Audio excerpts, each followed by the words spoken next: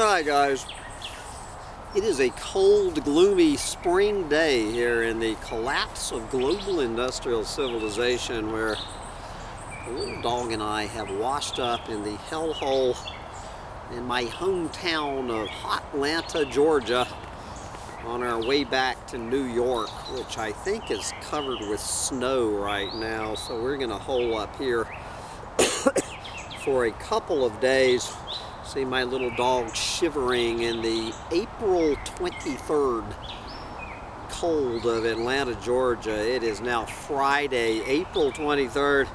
We have survived another Earth Day on the planet. And uh, since it is Friday, I'm just going to do what I try to do every Friday, and that is bringing my ecological meltdown roundup rant we're going to check in with mongabay.com. My old buddy Rhett Butler and the boys and girls at Mongabay who are going to give us a, a hopefully a somewhat uh, hopium-free, honest roundup of what uh, is really going on on this planet while, I don't know, Joe Biden and Greta Thunberg are uh, saving the planet at the latest climate summit uh, today. All right, so I'm to put the little dog down to go get squirrelies or whatever. All right. Uh, enjoying the juxtaposition of the mockingbird singing over the sound of the freeway behind me here on this gloomy morning. Take it away, mongabay.com for your Earth Day edition. Nature is no longer a nice to have, it is a must have. There you go. I, I love this. This is a conversation with Andre Hoffmann. Yes. Andre Hoffmann is from the family behind the Swiss pharmaceutical giant Roche has been pushing for environmental sustainability in business for a quarter of a century now. Yes, he is uh, a former vice president of the World Wildlife Fund, a, you know, one of these uh, global corporatocracy, giant pharmaceutical corporation, uh, joining forces with the World Wildlife Fund to uh, to save the planet. So what does does uh, what's his name? I've already forgotten. Does Andre have to say to Rhett Butler about the global corporatocracy saving the planet? Quote, if you destroy nature to make a profit, then you are creating the problem that you then try to solve with philanthropy. Yes, do you think so? This is a man who should know. So, you need to be much better at sensibly making money rather than making money at all costs says the, I assume, billionaire. All right, moving along from that, uh, from uh, that knee slapper. Okay, we have another interview with uh, Elizabeth Morena the executive secretary of the UN Convention on Biological Diversity.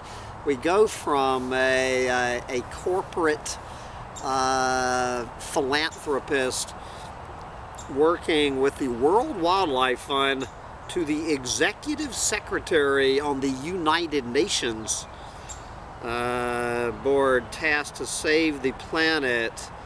Yes.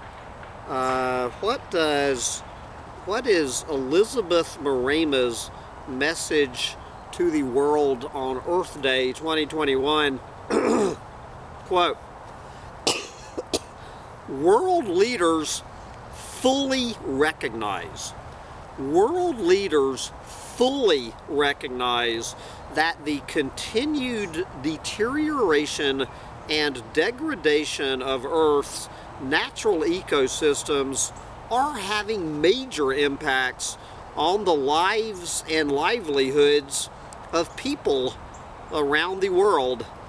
Yes, this is called, uh, what does Derrick Jensen call this? Would call this an absolute stunning example of human primacy. Is that the uh, word? I think Sancho is being cussed out by some songbird. What is that thing? Not a catbird. Anyway, I hope it doesn't peck Sancho's eyes out. Anyway, moving along. Alright. Man, we just, uh, Rhett is just in an interviewing mood. Here is a uh, business advisor and executive coach, Tom Eddington. Tom Eddington is leading an effort to address lack of funding for conservation nonprofits by organizing a campaign to raise $30 million. He is working with top artists, musicians, actors, and other creative influencers who will create original artwork and content that will be sold to raise the funds. I wonder how much uh, Tom thinks uh, the Collapse Chronicles content, how much could I sell a, uh, a Collapse Chronicles original rant to save the planet? Okay. you will not believe this. That cattle-driven forest clearing continues inside a Brazilian protected area. Yes. this is the Triunfo do Xingu Environmental Protection Area, which lies in the heart of the ecolog ecologically rich Xingu River Basin in the Brazilian Amazon and spans some 1.7 million hectares, otherwise known as 4.2 million acres, uh, despite its protected status, the area has been heavily deforested, so far losing 476,000 hectares, otherwise known as 1.2 million acres of primary forest, according to satellite. Um, Yes, and 2020 saw the highest amount of forest loss since the creation of the protected area as 173,000 acres, an area nearly the size of New York City, was mowed down last year to create a cattle ranch inside of a protected area. Yes. Okay, we have the looming COP26. Yes, as COP26 looms, tropical deforestation soars. Yes, do you think so? Um, moving along, uh, gee, you would not believe that South Korea is financing new coal plants in Indonesia. Yes, the coastal town of Suralaya in Indonesia's West Java province now has eight coal-fired power plants generating in its vicinity. and they are being financed through South Korea. Uh, the South Korean firm Doosan Heavy Industries and Construction. Yes. Support for the project in Indonesia is ongoing despite South Korea's own domestic transition away from coal power. Yes. Do you think so? Uh, I did not.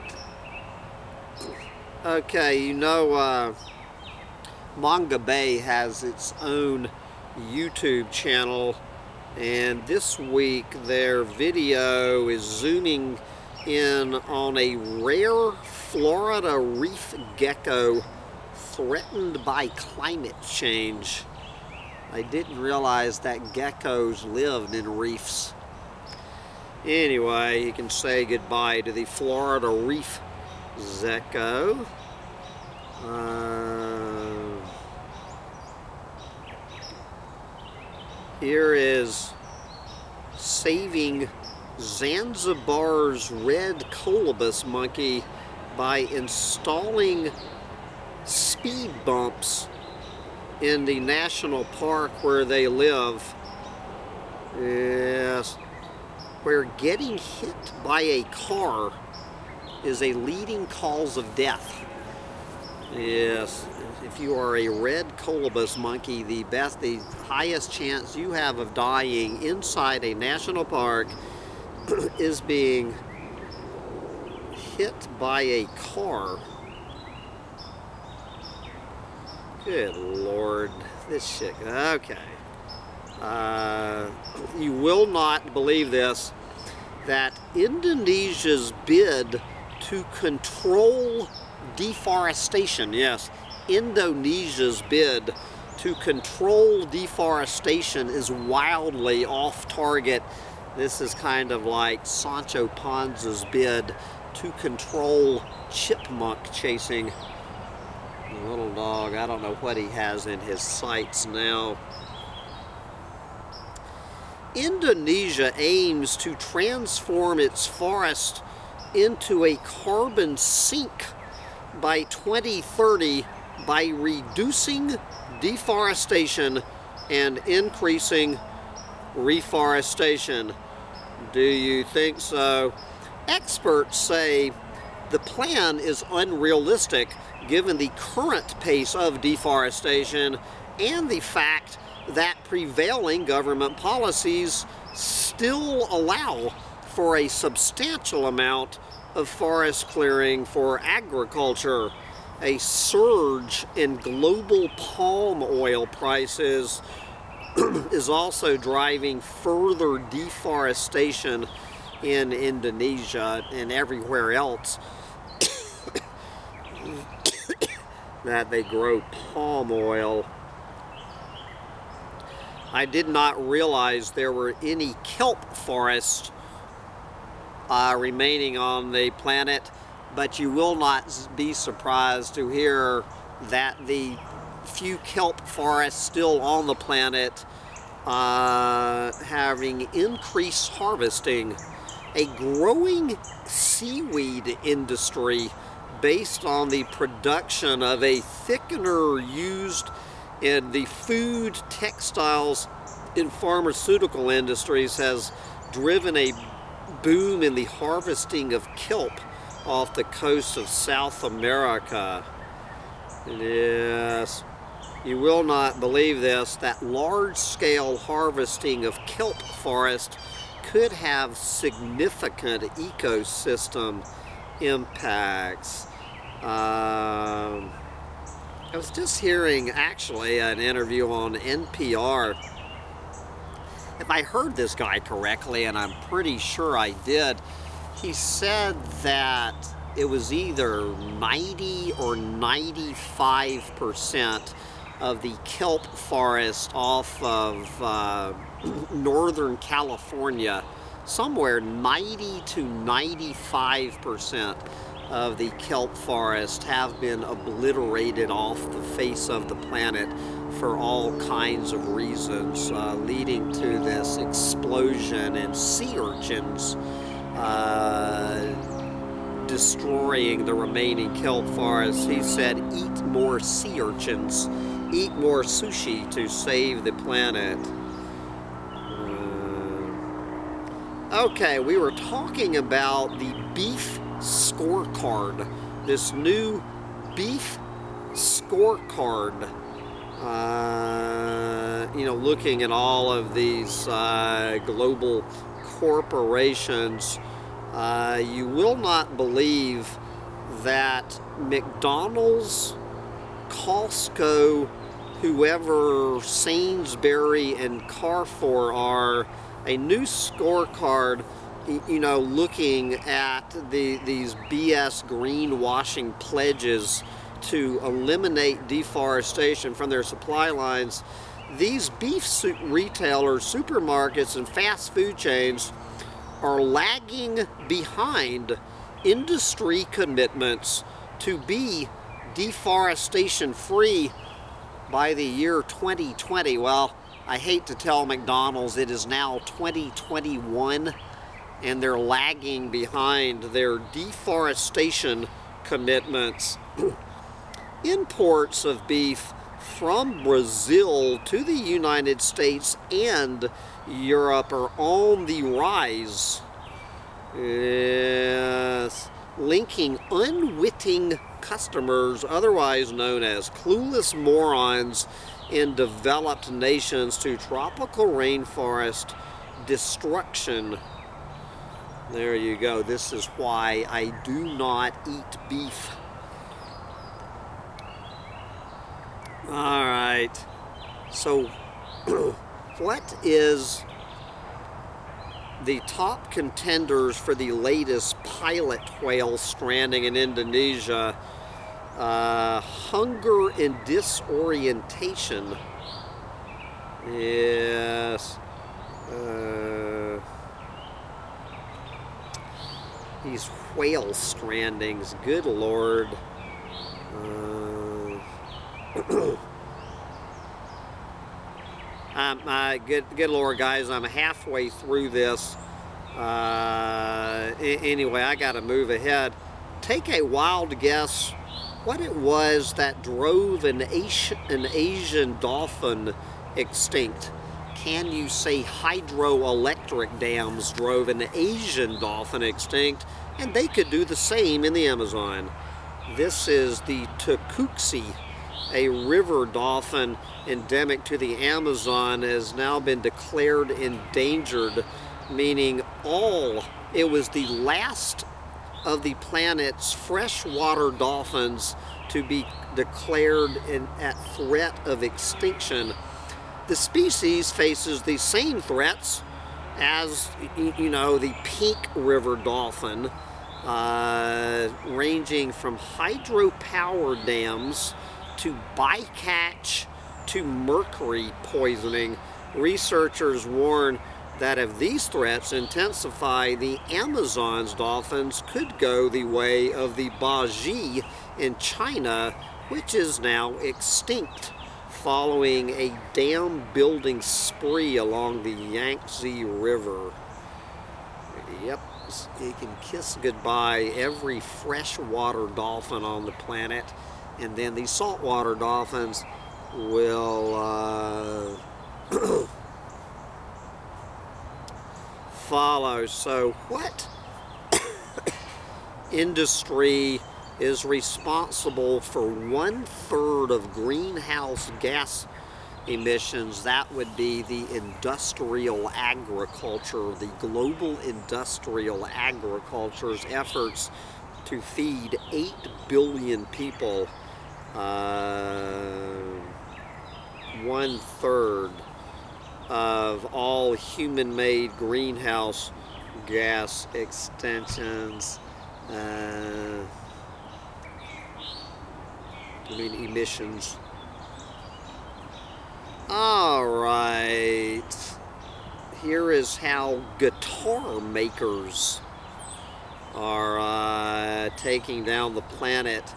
Guitar manufacturers use some of the rarest exotic woods on the planet, but have come under the most pressure to adopt sustainable practices. Yes. All right, so Taylor Guitars signing on to save the planet. There you go. Let's go up there to British Columbia. With British Columbia's last old growth at risk, the government falters. British Columbia's ruling New Democratic Party last autumn pledged to conserve 353,000 hectares, otherwise known as 1,300 square miles of old growth forest. But so far, they have largely failed to act on their pledge, even as forestry companies rush to procure and cut old growth forest in the Canadian province. Unless the government acts quickly on its commitment, British Columbia's last old growth forest could be gone in as little as five to ten years say some forest ecologist. Yes. Uh, despite its rhetoric, the government continues to prop up an industry in decline to help rural communities in need of jobs. Yep, yep, yep. Uh, Anyway, here is yet another uh, interview with great ape advocate Rich Quinn. Yes. About how great apes are on their way out. Uh, okay. What is the U.S. reptile most at risk from rising seas. Well, I've already given this away. This is, they're uh, talking about their video. The Florida reef gecko is the most vulnerable reptile to sea level rise in the U.S. Um, does it, with climate change and habitat destruction, are imminent threats to the gecko's population. Yep, yep. Uh, let's see. You will not believe this. This is the French oil company Total. Total's East African oil pipeline to go ahead despite stiff opposition the three and a half billion dollar heated oil pipeline will connect oil fields in the Lake Albert Basin in western Uganda to the port uh, of Tanga on the Tanzanian coast. Developed by French oil major Total and the Chinese state-owned China National Offshore Oil Copper Corporation the project has faced staunch opposition from uh, environmentalists who point out that the pipeline cuts through some of East Africa's most biodiversity-rich areas. the path of the pipeline will impact 770 square miles of protected areas, one quarter of that the habitat of eastern chimpanzees and African savanna elephants. Yep, yep, yep. Business as usual. Uh, here's a uh, story on the reptile leather leather trade. Good God, the reptile leather trade. How about the shark catastrophe points to the failure to enact global biodiversity agreements. Yes. 70% uh, of sharks and rays pretty much have been obliterated off the planet over the last half centuries. Shark and ray declines are driven by human actions, in this case, overfishing by commercial fisheries. Do you think so? Okay, guys, I realize I'm talking to myself. Let's just run down the list of headlines. Illegal coal mine tunnels threatening Sumatra illegal coal mining tunnels. You will not believe that indigenous peoples are being shortchanged.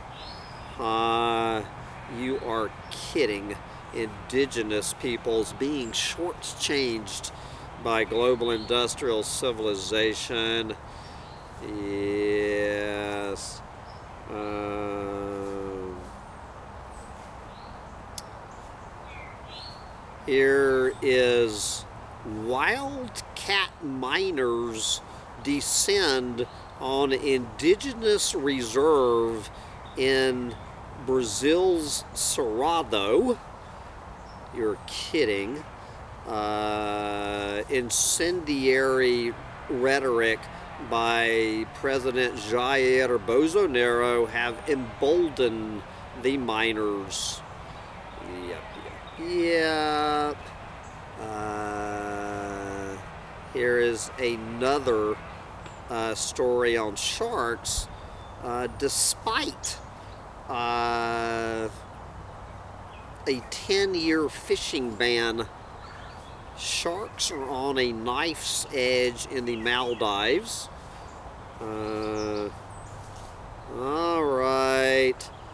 Uh, how about human impacts on South America expanded by 60% uh, since 1985? Humanity's impact on South America ecosystems. This is 1 million square miles have been pretty much obliterated uh, in the continent of South America since 1985 which might have something. Let's listen to one more. You know, Jair Bolsonaro uh, holding the uh, Amazon rainforest ransom. Uh, so we're going to wrap up uh, with a story from Brazil. Bills before Brazil Congress slammed for rewarding Amazon land grabbers. Two bills now awaiting uh, passage would great would grant invaders of public forest with land titles instead of punishing them. Hmm. Yes. Both bills were born from an executive order from President Jair Bolsonaro. Do you think so? But anyway, guys, uh, I have to go find my little dog where he's run off chasing the local wildlife here in the uh, hellhole of Atlanta, Georgia. So uh, I guess I'm going to pause for a couple of days uh, since while I wait for the snow to melt at Bugs in a Jar Farm. Get out there and enjoy uh, whatever you can enjoy while you still can. Bye guys.